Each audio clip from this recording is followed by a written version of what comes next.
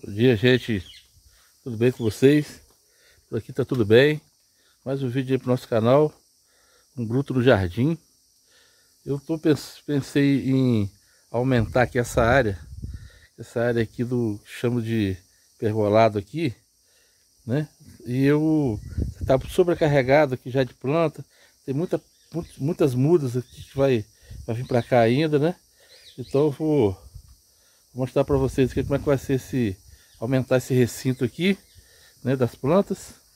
Então, está muito sobrecarregado já. Muita planta vindo para cá. Como é que está o tamanho dessa, né, dessa planta, que coisa linda. Então você imagina se ela crescerem todas as mudas que tem aqui, vai ficar meio difícil. Então, já vou começar a crescer aqui essa parte. Essa parte, olha lá, isso aquilo ali, ó. Aquilo ali é a nossa, nossa mascote aqui, a Mili. Mili, Mili. Mili, ela adora ficar nesse cantinho aqui. Vou crescer fresquinho para ela, né? Ela adora ficar nesse, nesse canto, canto ali. Então, gente, ó. Essa parte aqui, né, que a gente já tem. Então, vou, já, já comprei o sombrite. Sombrite 80%. E vou, toda essa parte aqui de, da frente aqui vai ser o a nova, nova área aqui da, do, do pergolado. Não é bem um pergolado, né? Mas é tipo um recinto aqui das plantas. Que lá tá, já está sobrecarregado. Ele é um pé de caju. vou contornar ele com, com eucalipto, né? Então vai ficar muito bom essa parte aqui. Mais uma parte aqui, olha o tamanho como é que vai. Vai quase triplicar o tamanho já que já tem, né?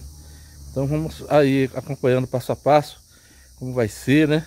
Vou explicar a vocês como está sendo feito para vocês fazerem também na casa de vocês, porque as plantas se dão muito bem com esse com esse com esse recinto ali, né? E para a gente não, não custa, custa, aqui você vai, vai ser cimentado aqui, vai, vai ter tipo um concreto aqui, igual tem lá, né? E as plantas aí adoram essa parte aqui, né? Gostam muito. Então vamos passo a passo aí para mostrar para vocês, para vocês fazerem em casa também.